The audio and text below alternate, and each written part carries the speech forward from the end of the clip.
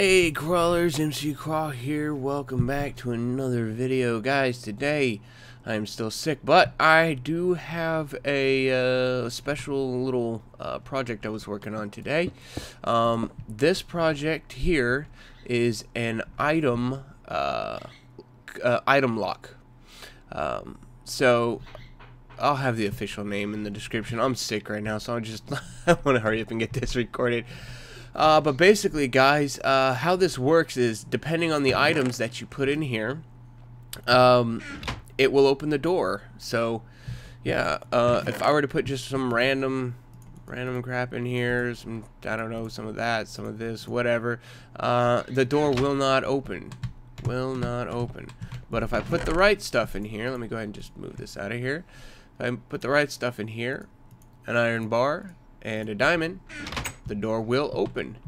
You come in here and that pressure plate will close the door and I click on this and of course I can get on through no problem and then I'm stuck. I can't get back in again. Uh, okay guys, so just this is just a concept and a trap chest. Yeah, it's a trap chest, buddy. That's right.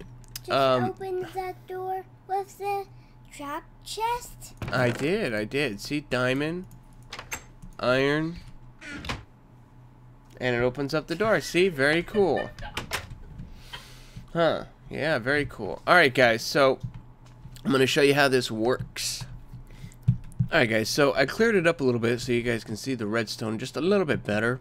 Um, one thing I forgot to mention that if you put items in this chest, uh, and it's not, say, the items that you, uh, you were thinking, say I put a trap chest in there, that's not the item that goes in there, uh, all those items will then be pushed off into this chest over here. You can see I have trap chest, chest, I had, uh, ignore that, um, the dirt, and that.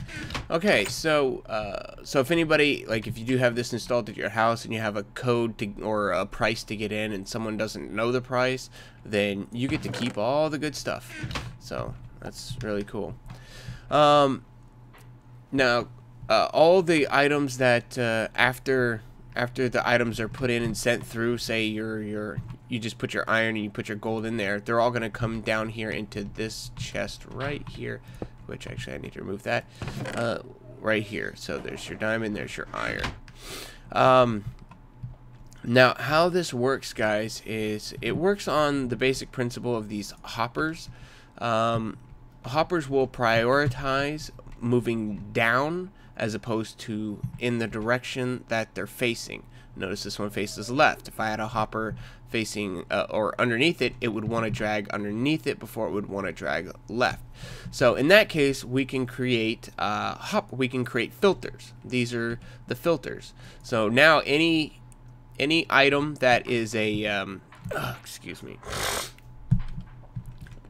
any item that is uh, that you want as a filter, you just set in here, and then only that item will fall into the hoppers. So, uh, and then I, you can see I have my item hoppers here, and this is actually not set right. and three, right there. There we go. I was doing some messing around, and I ended up getting more. Okay, so uh, once the items that uh, meet the quoted threshold, which in this case is 22, 17, 18, 19, 20, 21. So if I add one more in here, 22, then this uh, comparator will turn on. And notice that one right here at 17. When that one hits 22, it will also turn on. Then we come up here. Basically, this uses is sort of like an AND gate. Both of them have to be turned on in order for this torch to be turned on. And then that is what powers our door. Uh, now, in the same process, uh, we need a system to remove the items when they're done. So let's, you know, let's go over here. Um, we've already got one iron block, so we just need a single diamond block in there. So we go in here, place our single diamond block. That's going to open up our door. Uh, now, two things we need to do after this. One, we have to be able to shut this door again. And two, uh, we need to take out one item from each one of these so that we can reset this. So we can reset the uh, uh, the chest lock. Um, so to do that, uh, basically, I have uh, another AND gate down here, one set to this wire, uh, which is already an AND gate of, or actually it's an, technically an OR gate, but whatever, uh, of of this item down here. So basically, when this when these are both turned off, this line is turned on, and uh, we want it to be off in order for that chest uh, or that and whatever it's called, powered rail to be powered to move this card on. Uh, but in the same aspect, uh, right here, this also needs to be turned on. So we have to step on this pressure plate.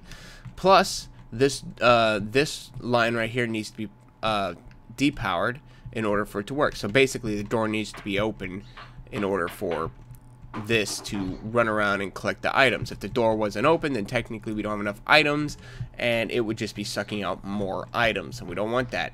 So, stepping on the pressure plate will uh, trigger this AND gate, and then this minecart right here will then take a little flying swoop through here, and as it goes by, it's at just enough speed to pick up one item from both the hoppers, and if I step on this pressure plate, you can see that it just did its little whirly pass and you can see there's 17 in there now and 17 in that one right there.